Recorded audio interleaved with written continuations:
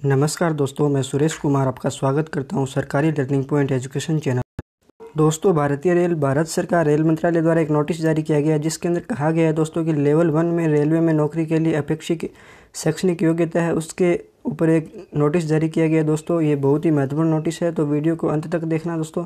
यदि आपने level one R का फॉर्म भरा है तो आपके लिए बहुत ही महत्वपूर्ण नोटिस है दोस्तों तो वीडियो को अंत तक देखना। व यदि आपने इस चैनल को सब्सक्राइब व वीडियो को लाइक नहीं किया दोस्तों, जल्दी से कर दें तो दोस्तों, रेलवे का कहना है कि रेलवे भर्ती बोर्ड द्वारा फरवरी 2018 एवं मार्च 2019 में जारी की गई रोज़गार सूचना संख्या दो हज़ार, दो दो हज़ार अठारह और आर आर सी एक दो हज़ार उन्नीस में भारतीय रेल द्वारा प्रदान की गई एक बार छूट केवल उन्हीं भर्ती अभियानों के लिए विशेष छूट थी, जिसे अब वापस ले लिया गया है। तो दोस्तों, ये शैक्षणिक योग्यता से रिलेटेड खबर है तो आगे पढ़ लेते हैं। अब रेलवे के तकनीकी विभागों अर्थात सिविल इंजीनियरिंग, मैकेनिकल, इलेक्ट्रिकल एवं सिग्नल एवं टेलीकॉम विभागों एवं कैटरिंग विंग में वेतन मैट्रिक्स में लेवल वन में पंद्रह छः दो हज़ार उन्नीस के बाद अधिसूचित की जाने वाली सभी भावी भर्तियों के लिए न्यूनतम शैक्षणिक योग्यता दसवीं उत्तीर्ण प्लस राष्ट्रीय व्यावसायिक प्रशिक्षण परिषद द्वारा प्रदान किया गया नेशनल अप्रेंटिसशिप प्रमाण पत्र एन सी एन ए सी या दसवीं उत्तीर्ण प्लस आई टी आई होगी।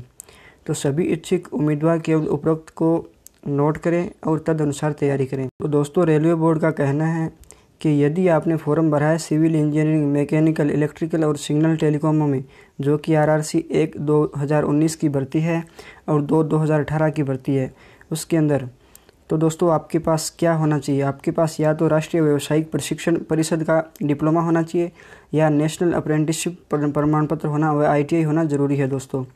तो यदि दोस्तों, आपने सिविल इंजीनियरिंग, मैकेनिकल, इलेक्ट्रिकल व सिग्नल व टेलीकॉम विभाग, इनके अंदर फॉर्म भरा है तो आपको ये आई प्लस या राष्ट्रीय व्यावसायिक प्रशिक्षण परिषद द्वारा प्रदान किया गया नेशनल अप्रेंटिसशिप प्रमाण पत्र आपके पास होना ज़रूरी है। तो दोस्तों, ये एक बहुत बड़ी खबर है।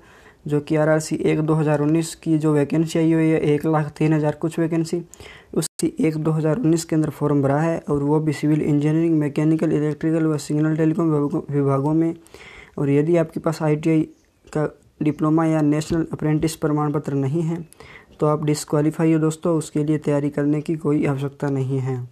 तो ये साफ़ साफ़ कहना है दोस्तों, भारतीय रेल, भारत सरकार, रेल मंत्रालय, रेलवे बोर्ड का।